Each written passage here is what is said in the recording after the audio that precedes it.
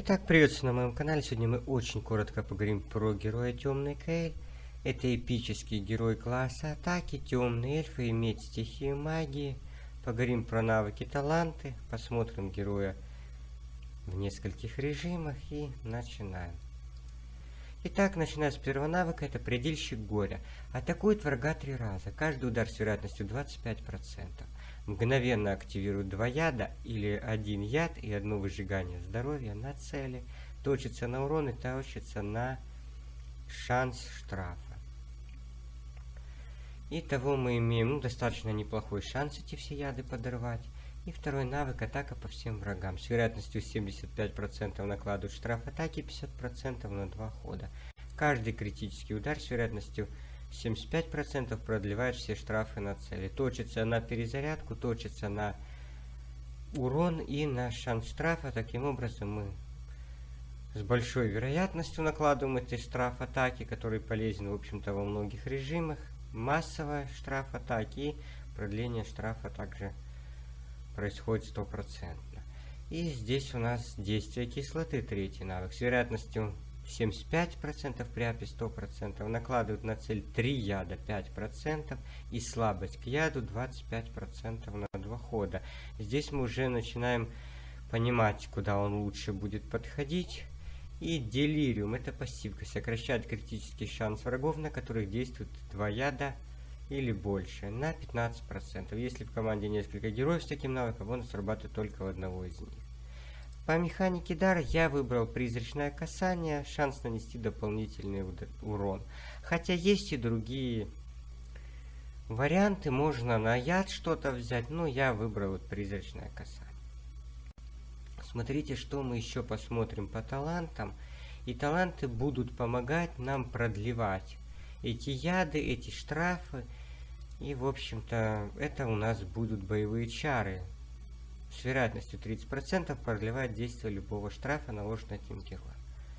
Здесь мы выходили на книжечку, это по ветке поддержки. По ветке атаки я вышел здесь на военных дел мастер, можно здесь выйти на грозу великанов.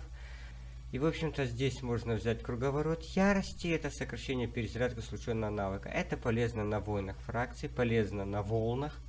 На клан-боссе нам, по сути, важно только вот либо военный дел мастер, либо гроза великанов для нанесения дополнительного урона. Таким образом мы будем лучше отхиливаться с этой кражи жизни. Можно здесь поменять под свой вкус, но самое главное, по-моему, это взять боевые чары и взять упорность. Это максимальное здоровье плюс 810 единиц. На клан-боссе нам потребуется выживаемость. И уже сейчас мы начинаем смотреть по параметрам героя. Это 44 тысячи здоровья, Защита прям ровно 3000. Скорость 200, 204, хотя можно и меньше. Кричан 102%. Крит урон здесь постольку поскольку и меткость 223 единицы. Напомню, кричанс нам нужен для продления штрафа. По сетам я здесь взял классику. Это краза жизни и Сет расторопности чуть-чуть на скорость и на меткость. Знамя у нас на здоровье. Но, тем не менее, адекватную меткость взять получилось. Здесь защита с проками в меткость, в здоровье. Это все повышает нашу выживаемость. Использовать мы на клан-боссе будем этого героя с помощью преподобной. Это будет пак через контратаку. Все будет запускаться помощь можно взять ниндзя со своим выжиганием. Металлогремущие щиты, дополнительные яды. Для выживаемости можно взять Вагота, он дает еще, что нам из полезного, он может сам по себе лечить, плюс он также дает продление штрафов. Также Вагот достаточно живучий. При необходимости может также давать штраф атаки. Но базово здесь нам интересен штраф-паразит. И наше лечение на команду будет идти вот два года. Либо, как вариант, можно еще взять скилл окрыленный. Она лечит, воскрешает. Если что-то где-то не прокает, она может воскресить еще до 50 -го хода вам поможет дожить, что в принципе уже само по себе неплохо. Все герои, что я беру, они здесь будут в краже жизни. Вагот у нас будет в другом сете. Сейчас мы находим Вагота и все это показываем. Вагот у нас в сете охраны. Он поглощает урон союзников. И с каждым ходом лечит на 10%. Это дополняет эту пассивку. Как по мне, Вагот только в этом сете и раскрывается. Ну и чуть-чуть меткости для того, чтобы навесывать штраф атаки, продлевать по возможности. Вагота нужно еще доделать ему на шансы, на перезарядки. Ну, в общем-то, это уже играбельно. И возвращаясь к, к темному Кейлю, здесь очень хорошие оценки, как минимум в 10 режимах, что выгодно отличает этого героя от ледяной банши, которая была только ограниченно полезна на логове дракона и дальше резко сдувалась. Войны фракции она уже не тянула. Здесь мы имеем и владыки демонов, и логово дракона, мы здесь на волнах полезны, и вот, как минимум еще несколько цитаделей. Некоторые режимы проседают, но в Гидре и в крепости Двуликого Стража склеп э, Дьявола Пустыни это достаточно новый режим, и здесь Темный КЛ также нам поможет.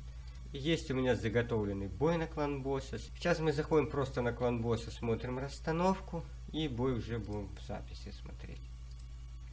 Здесь я что-то наносил, мудрил, здесь 50 э, миллионов набрал. И на адском КБ нужно 39 миллионов, я взял 50. Как это у нас все происходит? Чем здесь полезно преподобная? Смотрим, у нее аура на защиту союзников повышает выживаемость. Также есть у нее штраф атаки. Дает она бонус защиты и контратаки, но за неимением преподобной, теоретически, что вы можете сделать? Вы можете поставить метралу гремучую, поставить вагота. Поставить мы можем еще взять на контратаку. Ограниченно, скажем, здесь будет применяться по возможности череполом. Он дает штраф лечения, который на КБ, в общем-то, бесполезен.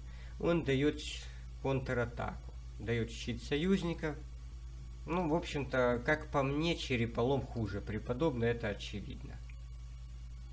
Оно будет играться, в год будет продлевать здесь по возможности штрафы, будет давать выживаемость, ниндзя будет давать урон. Хороший урон будет давать здесь и темный КЛ. Как видим, он может подрывать и яды, и выжигание. И метрала гремучая дает сама по себе яды, дает нам бонус защиты, бонус атаки, снимает все штрафы, дает усиление, дает щит. В общем-то, это все будет работать. Повышает меткость, если Вагод где-то по меткости не добрал, мы ему поможем добрать. В любом случае, на любой стихии эта пачка 40, 42, 43 миллиона будет набирать. Но я использую все-таки более проверенный стабильный вариант. Это порядка 50 миллионов можно Вагота поменять на скиллу окрыленную. Тогда нам нужно будет по этой пачке там внести некоторые коррективы. Здесь, я считаю, для преподобной бастион веры надо сразу по откату использовать. Темный КЛ желательно также действие кислоты. Действие кислоты это наложение штрафов и слабости к яду. И самих ядов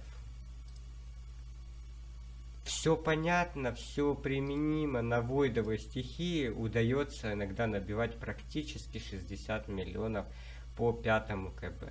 Это не анкил, это классическая контратака. Итак, смотрим бой.